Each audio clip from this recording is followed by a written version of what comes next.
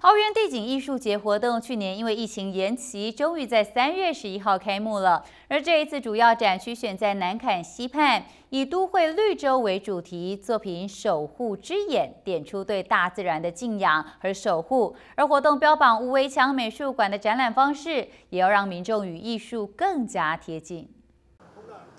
二零二一 Plus 桃园地景艺术节活动，三月十一号起到三月二十七号，在南坎溪畔、桃林铁路、虎头山公园和虎头山创新园区等地举行。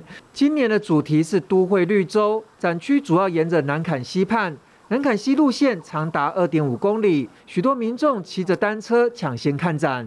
其实就骑脚踏车也蛮方便的，而且又可以看风景。因为平常也不太常会来这边，所以刚好这次台湾地景艺术节就可以这样子绕一绕、看一看、走一走。嗯，我自己骑脚踏车的，蛮舒服，很休闲。由于南坎溪本来就有许多民众运动，很多人是一边运动一边看地景艺术节的作品。因为要举办这个活动啊，所以来看一看，感觉很好哎。平常就有在这边运动吗？嘿，对对，我们住附近而已。啊，对对对，用走很方便，然后走那个那个步道，那个铁桃林铁路那条步道，真的很方便又好。南坎溪畔展区的守护之眼作品，用编织曼陀罗般的瞳孔，展现了社会大众和政府部门协力守护南坎溪自然生态的决心。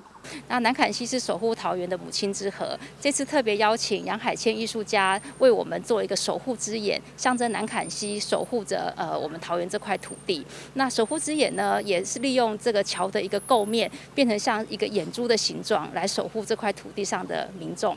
桃园地景艺术节活动沿着南坎溪畔布置作品，白天和晚上呈现了不同的视觉效果。南坎溪畔展区开放时间从上午十点到晚间八点，建议民众搭乘免费接驳车或者是骑 U bike 抵达会场，减少寻找停车位的时间。